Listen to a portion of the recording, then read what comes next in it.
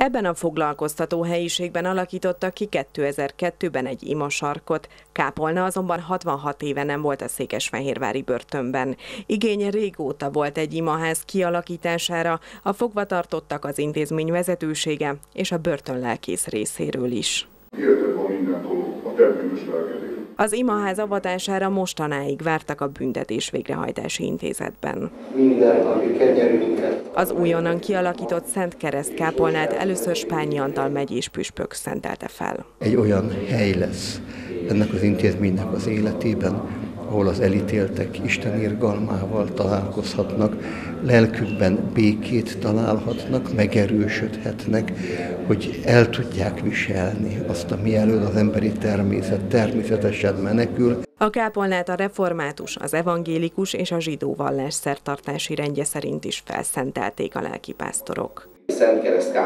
Az imaház kialakításán a fogvatartottak dolgoztak, és mint az intézet parancsnoka mondja, közben szakszerűek és elhivatottak voltak, néhány hét alatt végeztek a munkával. A fogvatartottak végezték ezeket a munkákat nagy szakértelemmel és rendkívül nagy akarással és odaadással, úgyhogy az, ez az ő kezük munkáját dicséri mindenképpen. A büntetés végrehajtási intézetben a katolikus Tornyai Gábor börtönlelkészként szolgál, hetente egyszer pedig református lelkész és a Jehova tanúi közösség egyik tagja is meglátogatja a fogvatartottakat.